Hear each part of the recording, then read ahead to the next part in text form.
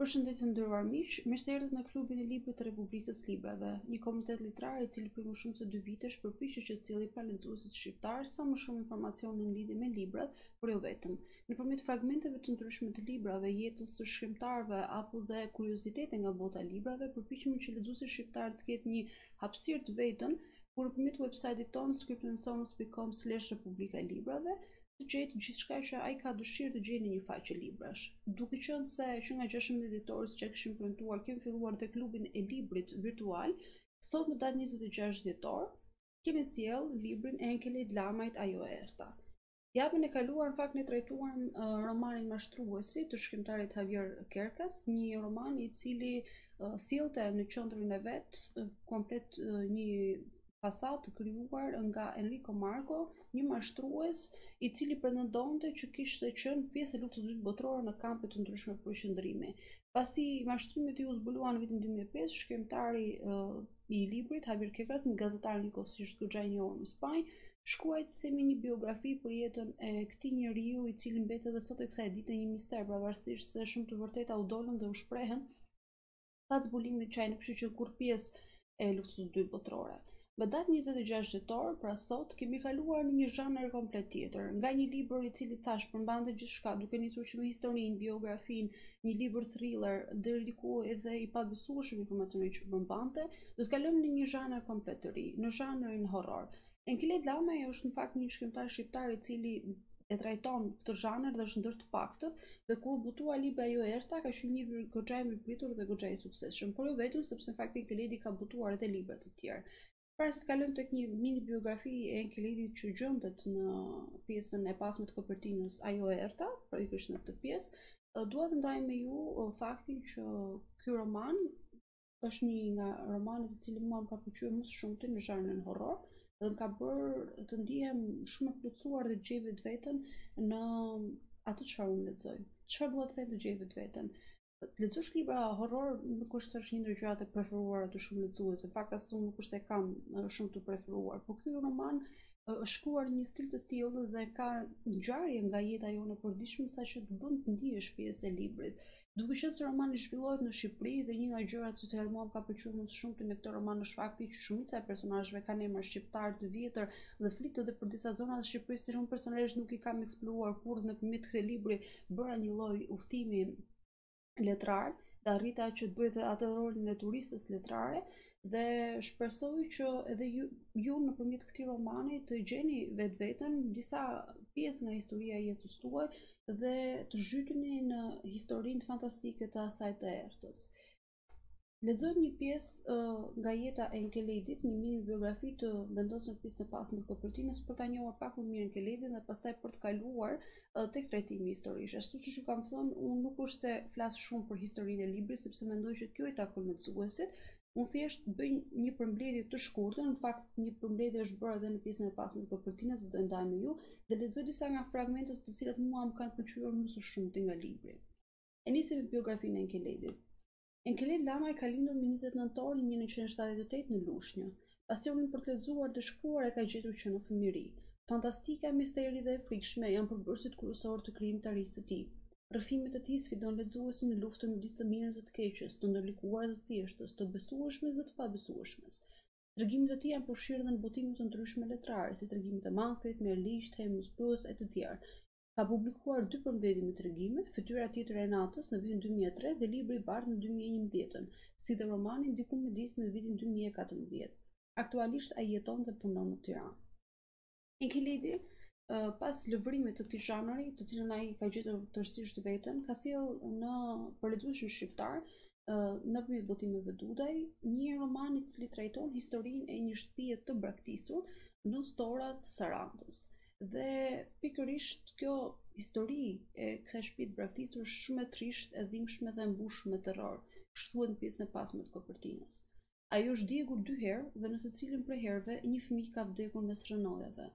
Por kjo është vetëm një anë e historisë, ajo që dinë të gjithë. Ana tjetër është ajo e një bote të harruar e të plotë që ekziston kudo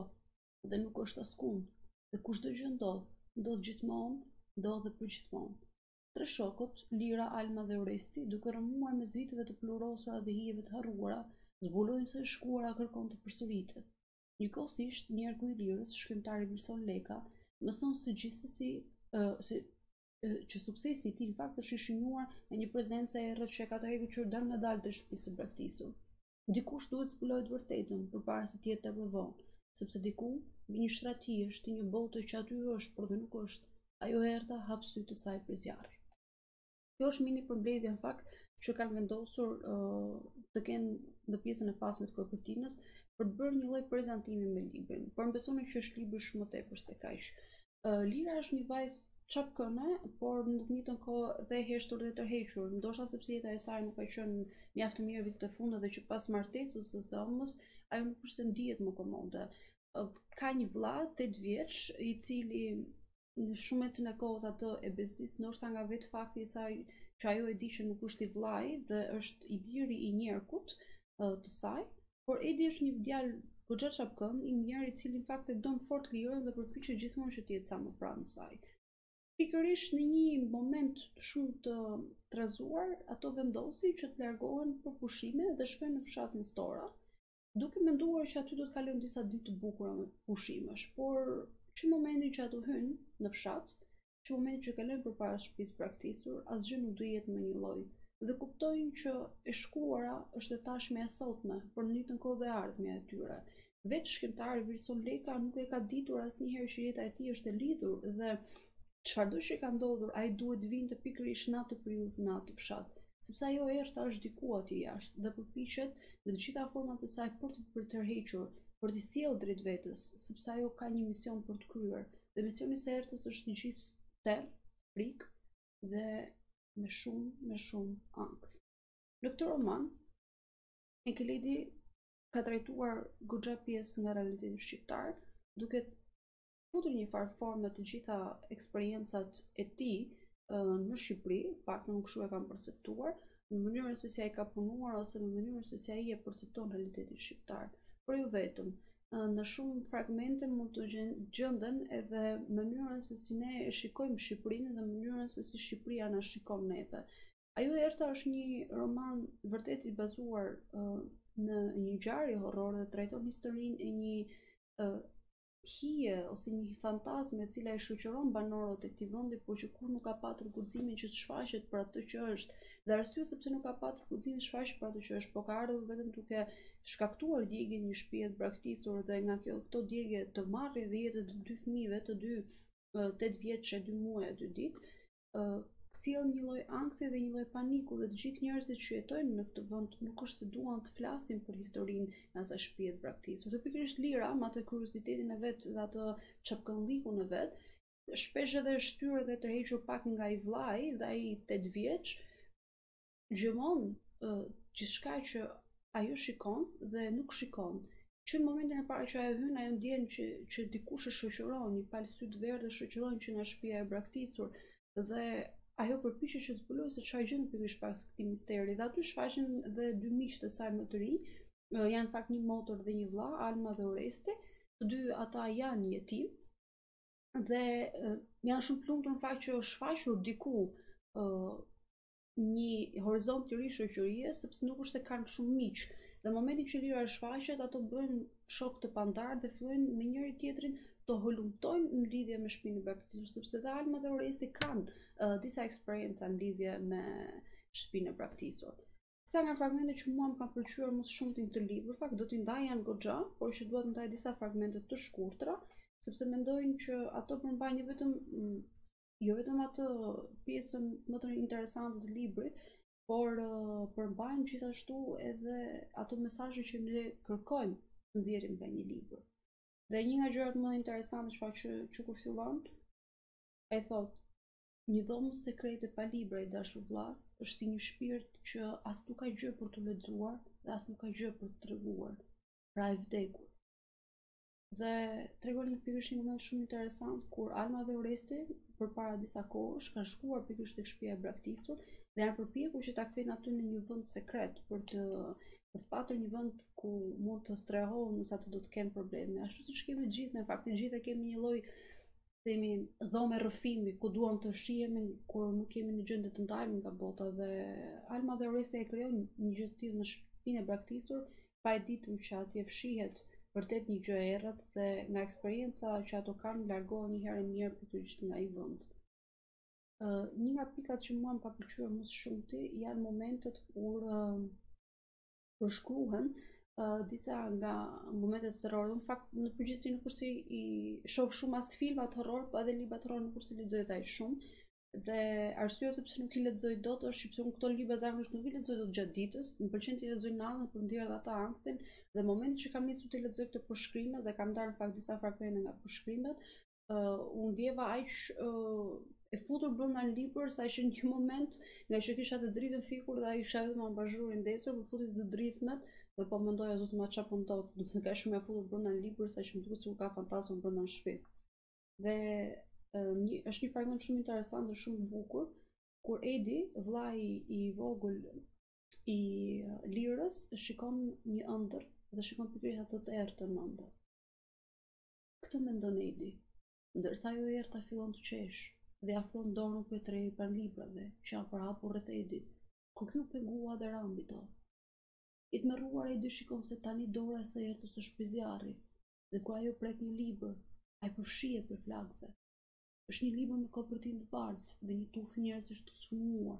me duar të ngritura përpjetë që duket sikur ulërijnë. Edi psherëtin dhe e dëgjon gjuhën e flakëve. Gjithnjë duke qeshur me të madhe, Ajo e errta afron dorën e saj prej zjarri tek librat e tjerë. Këtu jam zgjuar dhe kam qenë i gjithi qull në djersë. Nuk mbaj mend nëse kam bërtitur apo jo, por ka mundësi që jo, për sa kohë që askush nuk erdhi në dhomë. Askush nuk foli. Lira ndonëse e kishte dëgjuar dhe më parë atë ëndërr, përsëri nuk arriti të bënte një lidhje të plotë logjike mes asaj që kishte dëgjuar dhe shokëve përballë. Edi kishte qenë i përpiktë dhe kishte ndjekur çdo udhëzim të saj. Detaje, kishte thënë ajo, sa më shumë detaje. Dhe ai ia kishte thënë ç'kishte mbajtur mend. Lira e kishte gjetur librin Hije të shkrimtarit së dritë kola dhe dinte që kopertina e librit ishte njësoj me atë që kishte përshkruar Edi. Kurse Edi, nga ana tjetër, nuk e kishte parë ndonjëherë librin, përveç se në atë ëndërr. Në këtë fragment, në fakt, bëhet lidhja e disa shkrimtarëve, sepse uh, Ajo e errta ka disa simbole të veta. Në fakt, uh, po të vendosësh re, të gjitha librat uh, të zhanrit horror, por jo vetëm zhanrit horror, dhe të këtyre vrasëve serial apo personave të cilët uh, kryen një lloj rituali, janë të fiksuar me disa detaje, detaje si për shembull datat, moshat, uh, ka një lloj trashëgimie që ndiqet një lloj profesioni ose vetëm një lloj gjinie dhe pikërisht në edhe në këtë libër trajtohet e njëjta gjë domethënë historia përsërit vetveten e shkuara nuk është më e shkuar është e tashme dhe e ardhme dhe aty trajtohet historia e tre djemve të tre moshën, tetë vjeç e dy muaj e dy ditë që përndiqen nga nga një person. Trajtohet historia e tre shkrimtarëve, të cilët kanë shkruar të tre një roman që i ka bërë shumë të suksesshëm. Dhe pikërisht ky roman përmban një simbol, një simbol që Ajo e errta e shfaq nëpër ëndrrat dhe është del pikërisht vetëm në ëndrrat e Edit, këtij djalit tetëvjeçar. Dhe arsyeja se pse del në ëndrrat e Edit është në fakt shumë e frikshme dhe është shumë për të ardhur keq kur kam zbuluar fundin e librit dhe Historinë që fshihet pikërisht pas të errtës jam ndjerë shumë shumë e trishtuar dhe shumë me ankth sepse pas çdo dhimbje të madhe dhe pas çdo veprimi ndoshta shumë të egër fshihet një histori e cila nuk na përket neve, por në të njëjtën kohë është dhe e jona dhe realiteti shqiptar në këto lloj historish është vërtet shumë i ngjashëm. Dhe një fragment tjetër që më pëlqen shumë nga libri është Me gjithë këtë bijë e dashur, edhe ti e ke gabim. Fantazmat e lënë që ç'ke me të vendin ku kanë vdekur. E lënë dhe vijnë jetojnë brenda teje. Ndonjëherë rrinë pak, aq sa u duhet për të bërë do gjëra lesh e li, e pastaj shkojnë sërish andej nga kanë ardhur. Por ndonjëherë qëndrojnë me ty përgjithmonë. Përpara se ta mbyll prezantimin e librit për muajin dhjetor dhe librit e Enkelidit, Ajo e errta, dua të ndaj edhe fragmentin e fundit. Mund të tingëllojë si e çuditshme, kur e mendon se bëhet fjalë për një shkrimtar. Por ja që Vilson Lejka nuk kishte një kujtesë shumë të fortë. Kur shkruante, shpeshherë i duhej të kthehej mbrapa e të rilexonte atë që kishte shkruar, me qëllim që të kujtonte emrat e personazheve, ndonjë skenë apo detaj të caktuar. Ky ishte rregulli, kurse përjashtimi që e konfirmonte bënte që në një çast të caktuar ai të kujtonte fije për pe çdo gjë nga ato që kishte shkruar. Pikërisht me këtë fragment dua ta mbyll dhe klubin e librit. Shpresoj që libri t'ju duket sa do pak interesant nga fragmentet që shpërndava. Arsyeja sepse mendoj që duhet ta lexoni patjetër këtë libër, përveç se duhet t'i jepni një mundësi uh, shkrimtarëve të rinj shqiptarë për t'i pasur pjesë të bibliotekave tuaja, është sepse Ajo e Errta është historia e trazuar, të gjitha fantazmat që neve kemi brenda në shpirt. Ajo mban një histori shumë të dhimbshme dhe kush jemi ne në momentin që dhimbja na mbyt. Kush jemi ne në momentin që dhimbja bëhet më shumë se sa realitet? Kush jemi ne në momentin që janë këto forca të errëta dhe ajo dhimbja e tejskajshme që na bën të dalim nga vetja dhe mos na interesojë më bota si është, mos na interesojë më dhimbja e të tjerëve, po të tregohemi aq të impenjuar me dhimbjen tonë, sa që ajo të kthehet në një formë gërryese dhe hakmarrëse e cila na mban peng të realitetit dhe mbi të gjitha na mban peng në të ardhmen tonë. Dhe pikërisht Enkeleidi nëpërmjet romanit Ajo e Errta e ka trajtuar këtë fenomen shumë bukur, duke dhënë mesazhe shumë të forta për jetën dhe duke na lënë një përgjegjësi shumë të madhe. Sa të vërtetë jemi ne me veten? Kjo është pyetja që shkrimtarët, të tre shkrimtarët e këtij libri, i bëjnë njëri-tjetrit.